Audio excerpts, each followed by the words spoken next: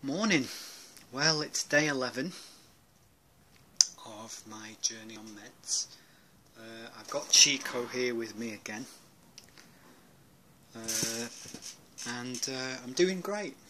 Doing really, really well. So,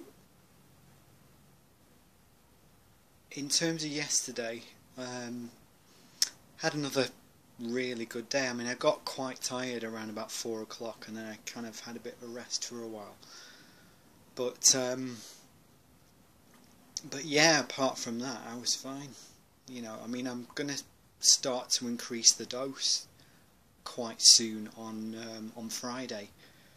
So that's a bit scary because I'm on because I'll be on a full tablet of sertraline each day. At the moment, I'm only on half a tablet so which is about 50 milligrams I think. But as I say on Friday that'll increase to 100 milligrams um, of sertraline. But um, but yeah it's it's good. Things are um, things are okay. Um, Chico's fast asleep so I'm not going to disturb him this time. But um, I just thought I would actually get him in the shot yesterday because you know I'm sure some people think he doesn't exist. But he definitely does as you could see and he's the sweetest thing on the planet. Uh, him and Sid are the best boys that a guy could have. Um, oh and he's looking right at me there. Um, he's very very tired though. I think he must have been up um, quite late last night dreaming about his women no doubt but but yeah, I mean, one thing I have noticed, um, I'm starting to get giggly again, quite a bit on the sertraline. Um, just little things kind of set me off, which is which is good. Um, it proves that my mood is is pretty good and pretty positive.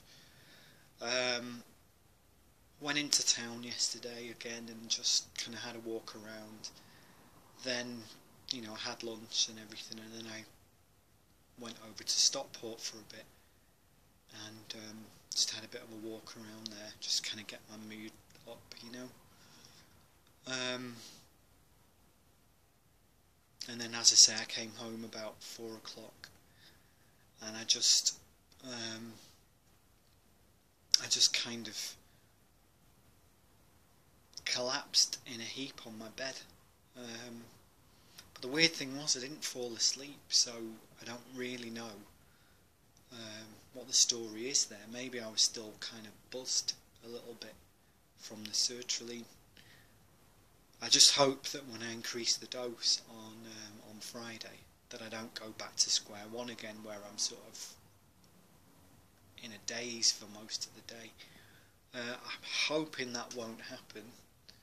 Um, I'm really, really hoping that won't happen because I'm pretty stable now on the uh, on the medication. So uh, I've not had very many side effects either. Little constipation and you know some slight nausea, but that's it.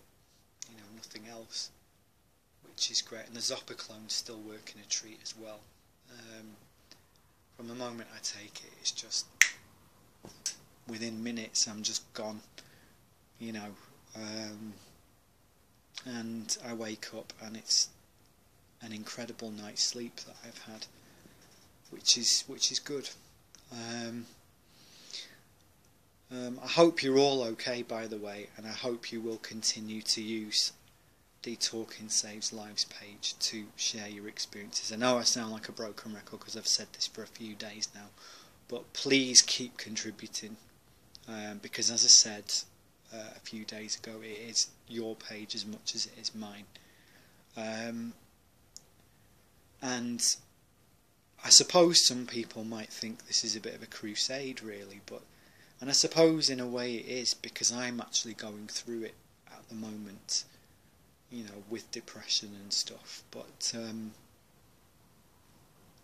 but yeah, you know, it's it's for you as much as it is for me. So please use it. You know, I want to I want to hear as many of your stories as you you know as possible. so that we can all help each other.